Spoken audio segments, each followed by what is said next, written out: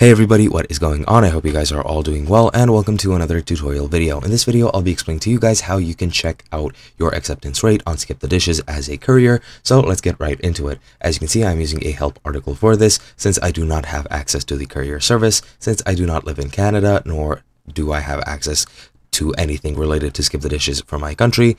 So just keep that in mind and please bear with me since this is the only way that I can show this to you. Uh, however, it is very concise and very easy to follow, so you should have no difficulty.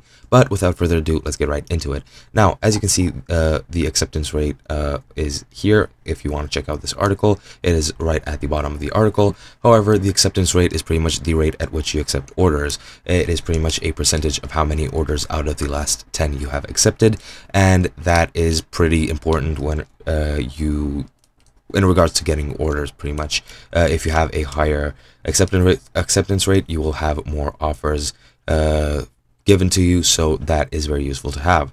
Uh, now uh, it appears on the bottom right hand corner of the offer screen when you receive a new offer. So what you need to do is wait for a new offer and check the bottom right hand corner of the screen and you will see your acceptance rate. But yeah as I've said uh, it is out of 10 uh, so accepting 10 consecutive offers can help you achieve 100%, which then will help you get more orders.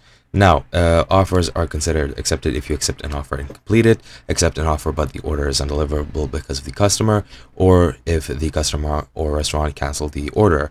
Now, it will be considered declined if you decline it yourself, let the timer run out of a new presented offer. Uh, the timer is, by the way, one minute, so make sure you keep that in mind. And after you accept an offer, you can request that you can skip uh, or you can request the skip unmatches the order. Now, if you want to not get orders and not get your acceptance rate down, all you have to do is pause the shift, which is very easy to do. I have made a video on that uh, really recently, so check that out.